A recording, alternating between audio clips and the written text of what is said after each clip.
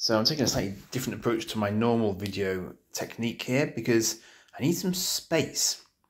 So I've come into my dining room to give myself some more elbow room. This is a Dinky 351 UFO interceptor.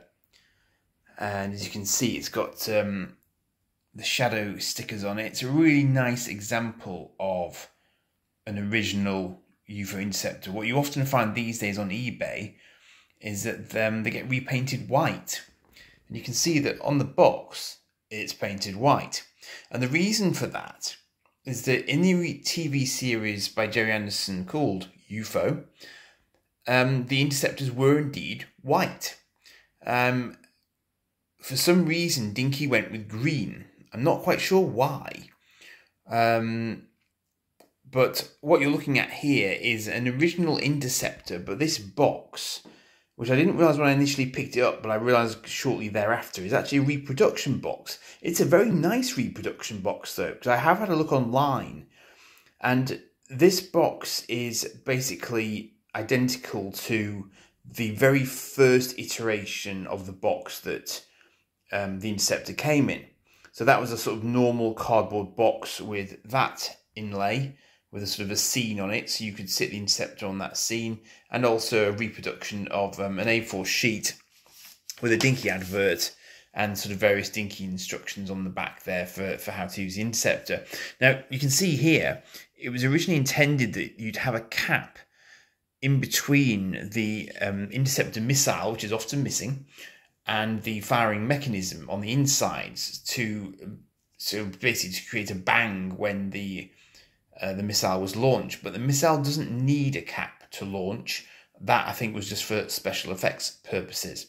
Um, so what I'm going to try and do, and the reason why I've uh, filmed in here, is show you just how far these things will fire because it's pretty crazy.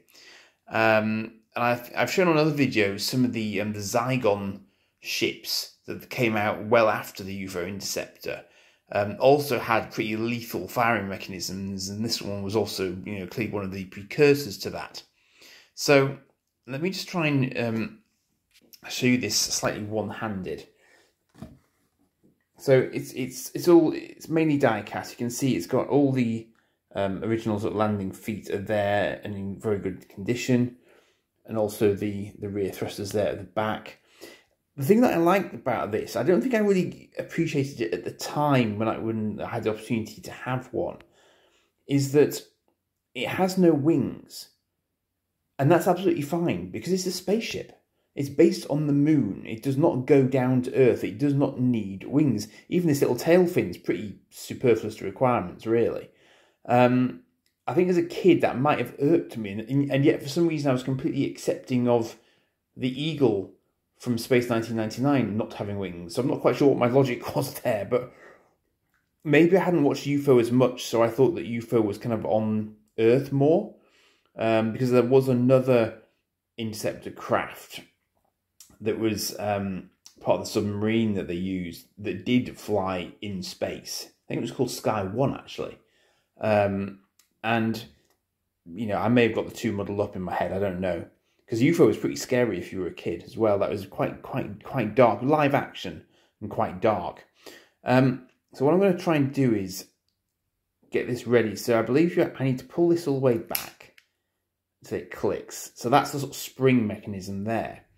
And I had to ask Blue Harvest this because I was confused because I thought I couldn't figure out how to fire it. There's actually a a little silver stud here, and that's the, the, the, the trigger that fires the actual missile. So I'm going to try and fire this towards my door over there, and we'll see just how lethal it is. Ready, steady. Whoops. It would help if I didn't completely block the mechanism with my other finger. Difficult to do one-handed, as it turns out. Let's try again. Yeah, that's pretty lethal. I've got a dent in my door now. So that hit the door and bounced all the way back to by my feet. So that's quite impressive. Um, you, can, you can imagine they would never get, get away with that these days. And that's that is the, the interceptor that you normally see. um, because obviously those missiles are very, very frequently lost. Um, they came in a few different colour versions. There was a, a black and yellow. Um, I can't actually remember what the other one was, but there is another variant. There was allegedly there's a white and red variant, but apparently that's just a myth. Um, so if you see a white and red nosed one, then that's probably someone's um, reproduction one. But obviously that's, you know, that's not unreasonable because people will need them. But I say that, you know, the vast majority of, of them that I've seen on eBay have actually been rather nicely repainted white um, to resemble the show one. And yet that, that particular version of it never got an official release, ironically. Um, so I paid quite a lot for this, relatively speaking, because of the box.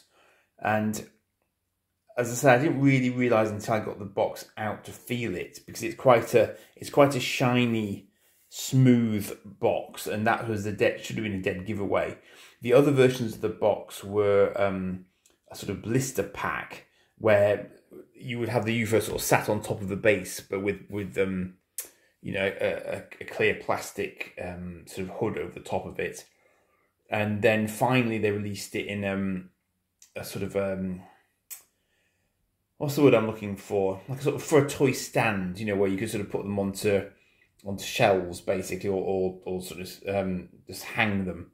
So that was a slightly different type of, of box and a more modern box, and that was the last version it came out in. But if you've seen my um, Dinky catalog videos, you'll know that they really they produced this for a long, long time. Um, I can't quite remember which which Dinky catalog first had it in, but it was early and it just kept going for years and years and years. So it's you know these are relatively easy to find, although in very very varying states of repair a lot of the time. So this one, what really drew my eye to it is that it's in a very very nice condition and it seems to have all its bits. There's even um there's even a pilot in the cockpit. I don't know if you'll be able to see him, and he comes in a couple of different colours as well, and so does the canopy. But you can see the you know the attention to detail is definitely there. There's no there's no two ways about it. So it's a really impressive model. This is a you know it's a very strongly painted one. You can see here it has all the normal sort of dinky information. UFO interceptor, dinky toys made in England, and it's even got its number on it. Three five one is, is on it. So um yeah, so I mean, that was an that was that was I entirely blame um, Blue Harvest for that because he sort of he he mentioned to me that he had such a beast in his cabinet at the time so I, I decided that it would be rude not to, and, um, and popped along to have a look and picked it up. So um, I'm going to retrieve the missile before I forget that it's lying on the floor, just in case the dog eats it. And um, I, I, might try a little little bit of Lego building tonight as well, because um, I haven't done for a long, long time. But I've also got um, a couple of other things to uh, to show you in, in due course as well. So I'll probably look at those during the course of this week. Cheers for now.